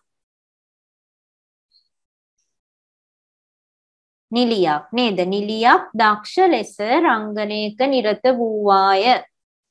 13 මිනිසෙක් උදෑසන ඕ යයි. මිනිසෙක් දැසන කුඹුරට යයි. භික්ෂූහු ඕ භික්ෂූහු අපට අවවාද අනුශාසනා කරති. දිය ඇල්ල වේගෙන් පහළට ඇද ඇද හැලේ. දෙමාපියෝ ඕ දෙමාපියෝ දරුවන් සමග පාසලට යති. රීති හූ කියලා આવොත් පරීක්ෂණයට භාජනය වෙති. රීති හූ පරීක්ෂණයට භාජනය වෙති. 18 දරුවෝ දරු මොකද්ද ඔයගොල්ලෝ කිව්වේ මට ඇහුන්නේ ඔව් දරුවෝ අනාගත පුරවැසියෝ වෙති කියන එක තමයි 18ට එන්න ඕනේ. ඔයගොල්ලෝ මොකද්ද ගත්තේ? හැමෝම මේකද ගත්තේ? හරි. ඒක නම් හරි ඈ. දරුවෝ අනාගත පුරවැසියෝ වෙති. ඒතර මෙතන දිත්ත උක්තයක් තියෙනවා. දෙකම මෙතන තියෙන කතෘ දෙකම උක්ත ස්වරූපයෙන් ලියන්න ඕන. දරුවෝම තමයි අනාගත පුරවැසියෝ වෙන්නේ. හින්දා දෙකම උක්ත ස්වරූපයෙන් තියන්න. තාරකාවෝ රාත්‍රී අහසේ නිවිනි නිවිනි බබලති. ඔව් තාරකාවෝනේ බබලති. නළුවෙක් නිලියක හා වේදිකාවට ආවේය වෙන්න ඕනේ. පුදුමෙදි නළුවෙක් කියන එක තමයි උක්ත වෙන්නේ. එයා තමයි නිලියක් එක්ක වේදිකාවට ආවේ. එතකොට මේකේ කතෘ පදේ නළුවෙක් වෙනවා. ඒ නිසා නළුවෙක් නිලියක හා වේදිකාවට ආවේ. හරි. අපි ඒක තේරුම් ගමු. එතකොට හරි. සෑම පදයකම අක්ෂර වින්‍යාසයේ නිවැරදිව යෙදී ඇති වර්ණය තෝරන්න කියනවා 21 ඉඳන් 23 දක්වා කරන්නකෝ. හරි. සෑම පදයකම අක්ෂර වින්‍යාසය නිවැරදි වේති ඇති වර්ණය තෝරන්න කියනවා. එතකොට ගන්න වෙන්නේ 21ට තුන්වෙනි පිළිතුර භාෂණය වෘත්තීය වෙරළ. හරිද 22ට එන්නේ පළවෙනි පිළිතුර විවරණය පුහුණුව සංස්කරණය. 23 ප්‍රබන්ධකරණය ප්‍රතිඵලය සංස්කෘත කියන 23ට හතරවෙනි පිළිතුර. ඊළඟට පුතේ ගොඩාක් වැදගත් කොටසක් මේ හේතු හින්දා තමයි අද දවසේම මේ පේපර් එක කරන්න ඕනි කියලා හිතුවේ. අපි ඉගෙනගත්ත රීතීන් ටික හොඳට මතක් කරගන්න මතක් කරගෙන පහත සඳහන් වාක්‍ය අතුරින් නිවැරදි වාක්‍ය තෝරා යටින් ඉරක් අඳින්න කියලා කියනවා. එතකොට 24 ඉඳන් 30 දක්වා තියෙනවා ප්‍රශ්න ටික ඉස්සෙල්ලාම කරලා ඉමු. හා කරමු බලන්න. පහත වාක්‍ය අතුරින් නිවැරදි වාක්‍ය තෝරා යටින් ඉරක් අඳින්න. එහෙනම් අංකේ පමණක් ලියන්න. පේපර් එක නැති අය. හරි. අපි කතා කරමු එහෙනම්. විසි හත්තර විසි හතරවන කිය නිවැරදි එක තමයි කෙනෙක් රූපවාහිනිය බලති නේද කෙනෙක් කියන්නේ නිත්‍ය බහුවචනනේ එතකොට ආඛ්‍යාතයේ බහුවචනෙන් තියෙනුන එක හරි කෙනෙක් රූපවාහිනිය බලති විසි පහ මේ තොරතුරු කවුරු නොදනති නොදනිති? විසි පහට එන්නේ හතරවෙනි පිළිතුර. විසි හයට කීයද? දෙක. කිසිවෙක් සභාගැබෙන් නැකිට යති. කිසිවෙක් නම් ආඛ්‍යාතය බහුවචන වෙන්න ඕනේ. එහෙනම් කිසිවෙක් සභාගැබෙන් නැකිට යති කියන එක තමයි නිවැරදි 26ට දෙවෙනි පිළිතුර. නේද නැත්තම් මේ සමහරෙකු කියන එක මේක අනුක්තව තියන්න බෑ හරිද සමහරුන් නම් දෙති වෙන්නත් බෑ අනුක්තව තියන්න බෑ උක්ත ස්වරූපයෙන් තියන්න ඕනේ. වගේ වැරදි ගණනාවක් තියෙනවා. 26ට හින්දා දෙවෙනි පිළිතුර එන්නේ 27 27ට එන්නේ තුන්වෙනි පිළිතුර. කවරෙක් මෙහි සුවසේ සිටිද්ද? බහුවචනෙන් තියෙන සිටිද්ද? කවරෙක් මෙහි සුවසේ සිටිද්ද? 27ට 3. 28ට එන්නේ කෙනෙක් එදින වූ සිද්ධිය විස්තර කළහ. කෙනෙක් නම් ආඛ්‍යාතයේ බහුවචනෙන් කෙනෙක් එදින වූ සිද්ධිය විස්තර කළහ කියලා ආඛ්‍යාතයේ බහුවචනෙන් තිබුණ නිවැරදි 28ට එන්නේ පළවෙනි පිළිතුර.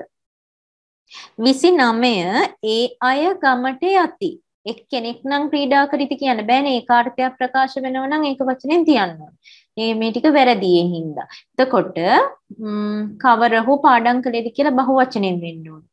ඒ අය ගමට යති ඒක නිවැරදි. ඒ අය කියන එක බහුවචනෙන් තියලා තියෙනවා. ඒ අය ගමට යති. එහෙනම් 29ට 4.